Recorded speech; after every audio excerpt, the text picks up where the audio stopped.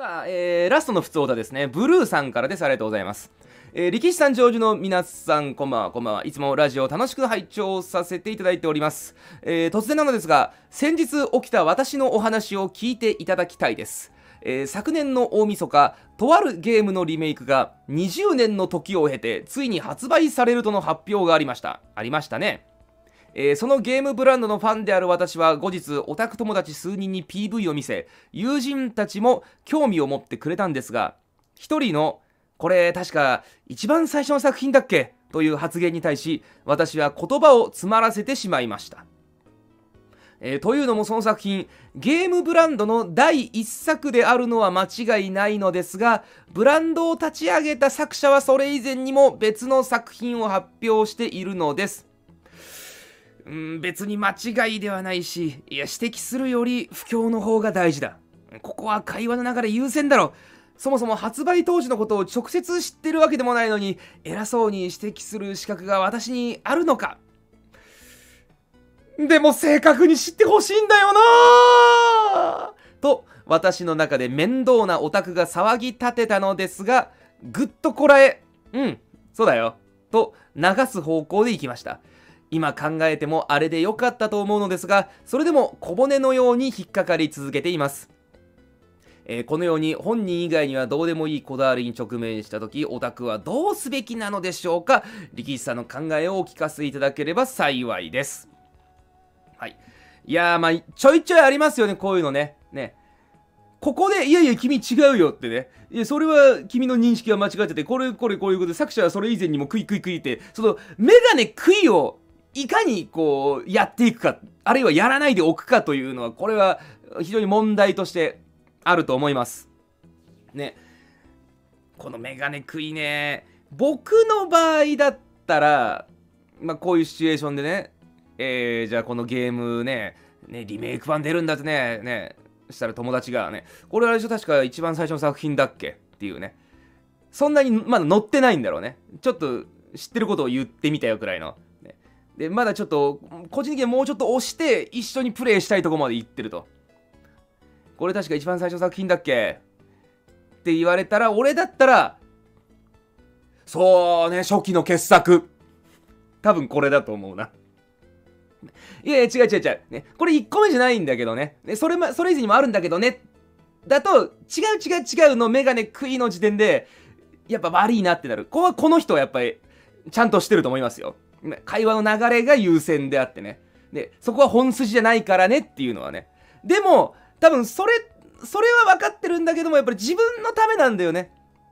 そのなんか誤った情報をなんか見過ごしてしまうことがオタクとして許せないんだよね。だから、あの、訂正じゃない訂正ね。うーん、そう、初期の傑作ね。こういうところで、とりあえず自分を納得させる方に行くと思います。ね。これはね、気持ちわかります。まああの、それこそねまあこうやって配信なんかをやってて何人かでこう喋ってる時がありますよね。そうすると絶対にあの、何もかもが正確な情報ではやり取りできないじゃないですか。どうしたってあの、覚え違いとか考え違い思い込みとかでねどうしても誤った情報というのはあってしまう。で人が言った時にやっぱり俺も気づく時ある。あそれ違うなとかね。ね、あの漢字の読み間違いとかそういうのもあるしね。でもこう、そこもやっぱり、なるべくなんかこう、立てないですよね。よほどなんかあの、その後大事だったりとか、あの、笑いにつながるようなね、ヘキサゴン的な面白読み間違いとかじゃない限りは、基本的にはもうスルーって。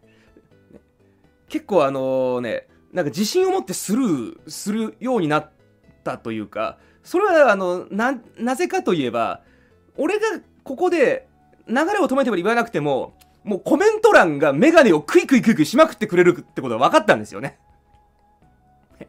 あれびっくりするね。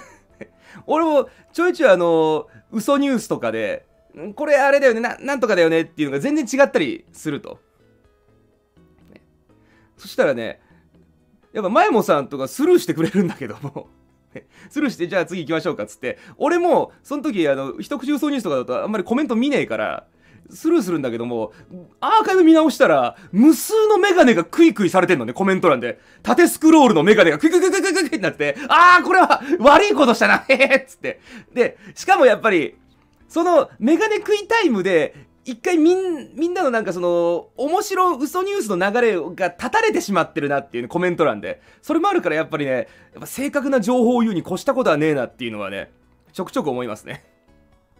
ねこれはね、あの、配信やっぱりやってると、よくよく見る風景ではあるんですけどもね。ねなんとかあの、3メガネくらいに抑えてくんねえかなって思う瞬間は正直ありますけれどもね。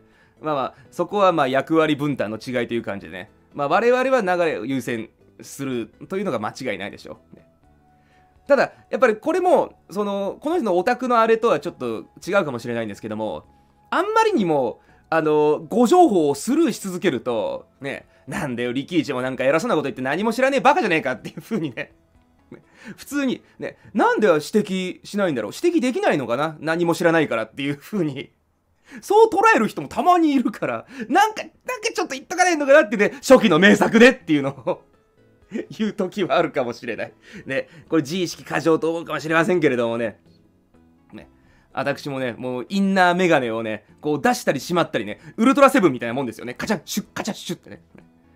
仮にここで誰かがウルトラマンセブンって言ったとしても、ああ、セブンねっていう風に俺は言って終わると思うし。これ難しいね。なんとかね、3メガネよろしくお願いいたしますね。そうですね。まあこういう、なんて言うんだろうね。まあ自分を納得させるための愛の手、相づちみたいなやつをなアドリブでポンと出せると、おおオタク冥利っていうそんな気持ちになるかもしれません。ね。わかりますね。気持ちはわかりますけれどもね、あの、大人の対応なさってると思いますので、ね。どうかね、あの、心に安寧が訪れることを祈っております。